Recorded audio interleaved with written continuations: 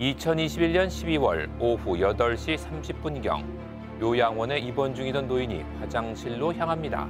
그런데 잠시 후 넘어지면서 공중에 붕 뜨는 노인의 다리가 보이는데요. 넘어진 노인은 이후 방바닥으로 옮겨진 채 12 12시간을 보냅니다. 내버려둔 거예요. 그리고 저희들한테 연락도 없었죠. 그 밤에 연락을 했으면 아버지가 지금같이 반신불수라는 상황은 안 오셨어요. 과연 요양원에서는 무슨 일이 있었던 걸까요? 가족들은 아버지가 하루아침 반신불수가 된 이유에 강한 의문을 제기합니다. 예, 최근에 부산에 모시고 가서 유람선 해운대 앞에서 태워드리고 아들에게 늘 다정했던 아버지. 치매 4급을 판정받았지만 별 탈 없이 건강한 모습이었다는데요. 저희들이 올 겨울 지나서 홍천에 여동생 홍천에 있어서 그래서 그쪽에다가 전원주택을 사서 어머니 아버지를 모시는 걸로 하고 그 겨울 동안 잠깐 모신 거예요 거기다가 요양원 입소 당시만 하더라도 직접 걸어서 들어갈 만큼 건강한 모습이었는데 낙상 이후 아버지의 모습은 그야말로 처참했습니다. 단순 낙상 사고라 생각하기엔 꽤 심각한 화장실 상태. 아버지가 넘어지시면서 화장실 변기 뚜껑을 잡았는데 변기 뚜껑이 뜯어지면서 굉장히 큰 소리가 났다고 말씀을 하셨어요. 가족이 의문을 제기한 데는 이유가 있습니다. 노인이 넘어지면서 나는 큰 소리에 놀라서 달려오는 요양보호사들.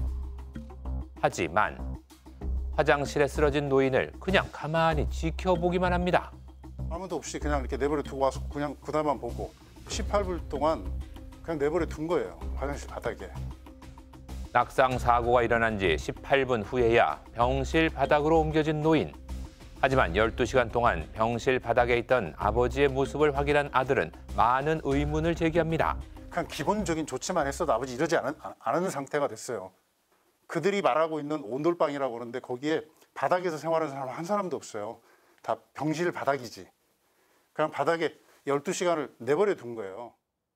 특히 요양원에 계신 분들은 낙상 사고 자체가 거의 뭐 바로 사망으로 직결될 수 있는 상황이죠. 병원에서 어떤 손상을 입었는지는 뭐 가능한 한 빨리 확인하는 것이 좋습니다.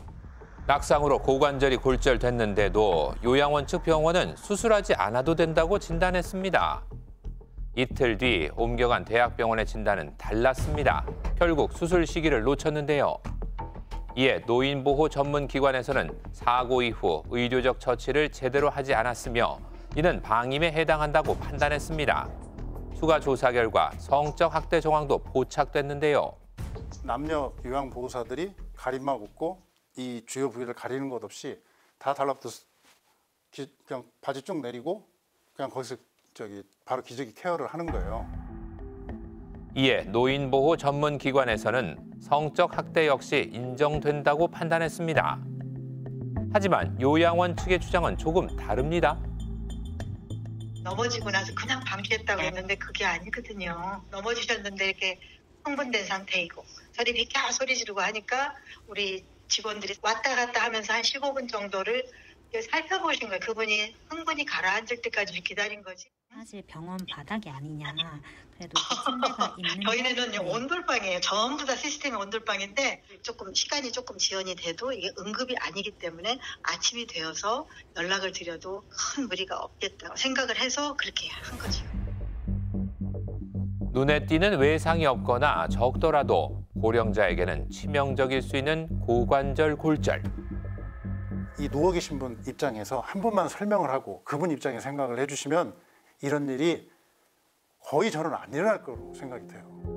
비대면 상황에서 늘어나는 요양 환자 학대 사건. 예방을 위한 제도적 장치가 필요합니다.